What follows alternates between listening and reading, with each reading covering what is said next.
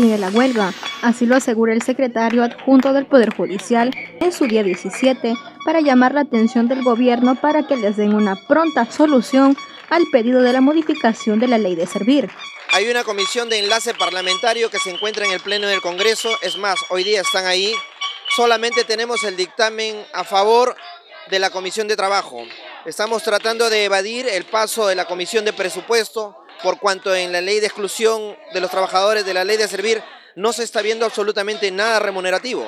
Están tratando de evadir el paso de la Comisión de Presupuestos, ya que la ley de exclusión de los trabajadores de la ley de servir no está tratando el tema remunerativo. Por ello no tendrían que pasar.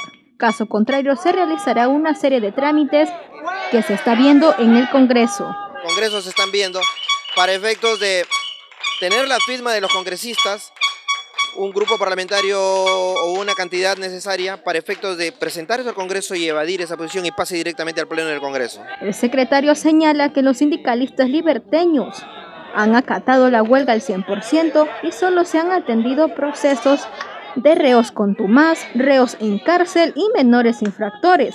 Los demás procesos están totalmente suspendidos, pero ellos se han comprometido que cuando reinicien sus labores van a programar de inmediato. A nivel nacional ha sido un éxito total.